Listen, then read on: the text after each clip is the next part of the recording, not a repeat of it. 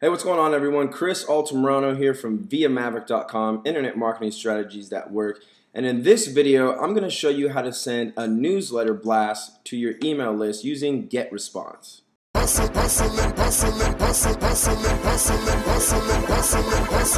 All right, guys. So first things first is uh, just want to navigate to the top right here, or actually just log into your GetResponse account, click on Dashboard, and then you'll get taken to a screen like this select your campaign. I've already created a campaign right here. If you haven't created one yet, just go ahead and click create campaign and that'll guide you through that. The next step is to actually just go to messages and then click create newsletter.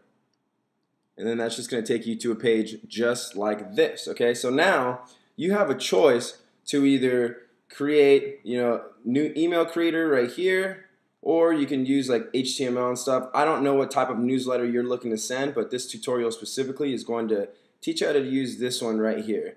And we're going to use this new email creator, okay? So we're going to go ahead and just click new email creator. And now this message name right here, this right here, this is for your eyes right here. So this is for you. So only you you are going to be able to see what the message name is. Now the subject line right here, this is going to be what the actual receiver of your email is going to be, right? One of your subscribers. So um, make this very catchy. Um, just to give you a really cool resource, go ahead and go to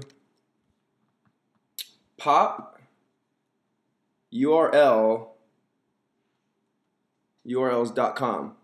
Uh, popurls.com is a really cool aggregator, URL aggregator, and it pulls all the really of like the best URLs that are going on around the web. So um, basically, if they if they are the best, that means that people are clicking on them, and they are clicking on them for a reason. And now the reason that you want to do this, obviously, is so that you have a high open rate. Now, open rate is the amount of people that actually open and read your emails, right? Because there's so many emails coming in that you really want to get someone to open and look at whatever it is that you have to say. Okay, so go to popurls.com. That is a really awesome resource. Okay, so now you're gonna get taken to this page right here, and it's gonna give you all these different templates, right? Now, again, I don't know what the purpose of your email is going to be, but if you have some kind of clothing company and you're to send some newsletter, then you can just choose one of these templates and mess around from there.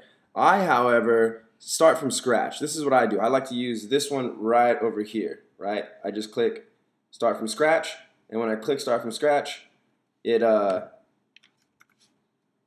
it takes me to this next page right here. And then I'm just going to select this right here where it says blank template. Okay, so now that we've gotten to our blank template, you'll notice that right here on the right hand side it says basic blocks, right? And you have like a, a pre-header, a text block, an image block, an image and a text block, and a text and image block, and a little horizontal ruler. These are all just little pre-made little things to go right here, right? So you, what you're going to do is just grab one of these and drag it right on over here, and then it's going to pop up, right? So we'll do a quick example of that, okay? So I just like to use a text box. So I'll drag it, drop it, right? And it'll put up this like crazy language. And then all you have to do is just type in, I'll just be like, hey, you know, welcome to the email newsletter right? And then I can just um, return and um, this is a sample message, right? Hit return again, and then like say this one right here, if I want to change that, we'll put this is a hyperlink, right? And then all you do is you just go like that, and you click the little hyperlink button, right? Uh, insert link, and then you know www.google.com, and then hey, this is Google, right? So you get the gist of how the text block works. The next one is an image block, right? And or actually you have to click off first, and this is an image block. And you just drag that right there, right below it, okay? And then choose an image. Just click on that, and you'll be able to choose from all these stock images, right?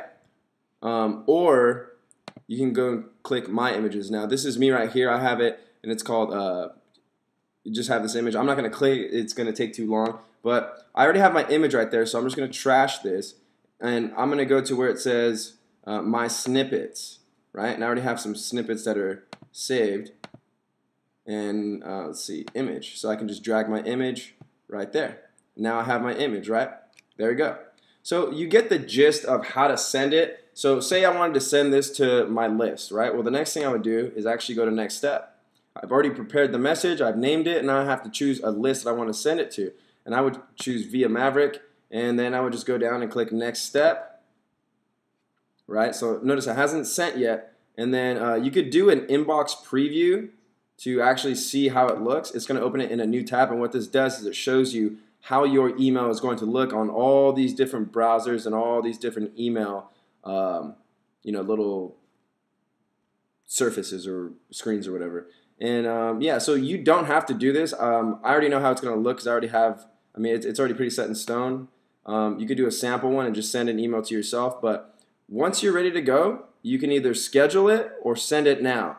Now, I would highly recommend scheduling your post to go out, right? Because GetResponse has this really cool thing and it's called time travel. And time travel, it says it delivers your campaign at the recipient's local time. It also says caution in some time zones, the sending time you chose has already passed. Recipients in those time zones will receive your message immediately. If you prefer, you can choose a later sending time. So I already have mine set right here. Uh, you click that and you can just, you know, you set the time when you want it to go out. And that's how you do that, guys. And then once you're ready to send, you click send. So that is how you send an email blast with GetResponse. I hope you enjoyed this tutorial. Head to viamaverick.com, get on the email newsletter where I give you more internet marketing strategies and cool little email tips just like this. All right, thanks for watching, guys.